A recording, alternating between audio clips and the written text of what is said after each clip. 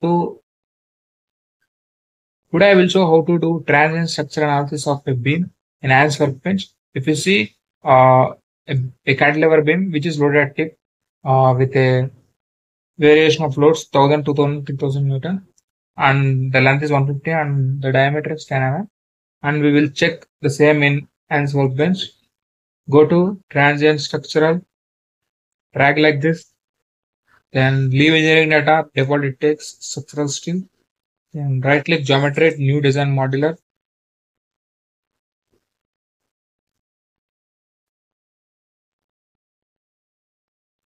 First you need to do is change to millimeters because the length has given in millimeter.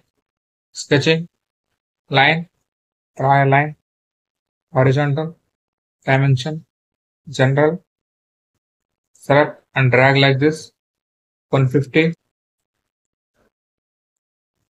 then general, select this one, this one, this vertex, which is 75 exact like middle. Uh, now line has been completed. We'll give cross section to this concept, line from sketches, select this line, apply, center concept, cross section, circular, 5 mm radius, 10 mm diameter. Concept generate. Then go to line body, select this one and add at here. Generate. You want to see this in 3D cross section solid view. Exit from here.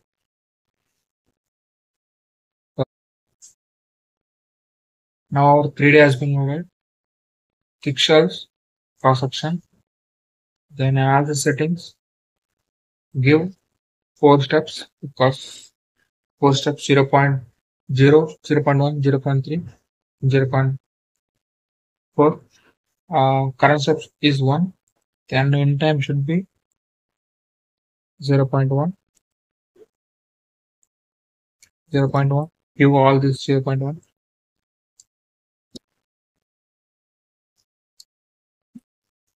Now go to second step by clicking second. Then it should be end at 0 0.2. So all should be 0 0.1.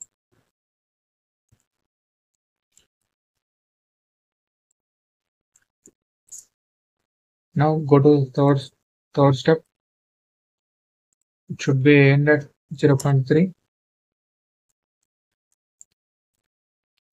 For all this 0 0.1. Then last step, fourth step, end at 0 0.4,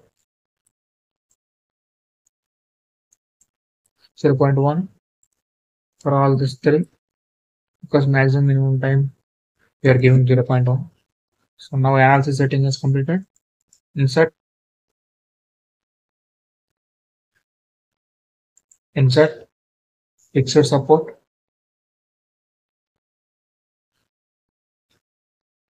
here. Select this vertex apply. Then should give the force.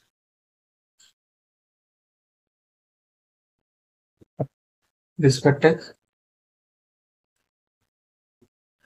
In y direction components by tabular time here at 0.1 y direction minus 1000 Newton. Then at here minus 2000. Then at here minus 3000. So force force are given. Now we will check the results. And say pick the support and forces. Then we give the results. Total deformation we want and we need a beam tool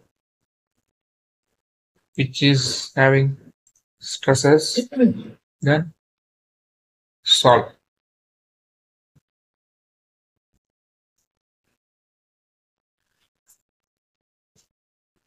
may take some time because we are given the time.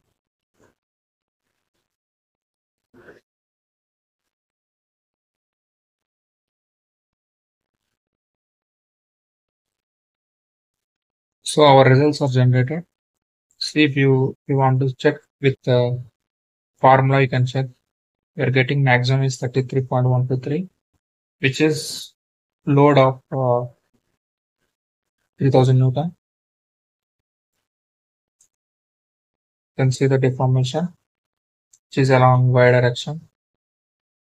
Then you want to see the direct stress you can see the direct stress here 12.49 megapascal. And combined stress maximum combined stress.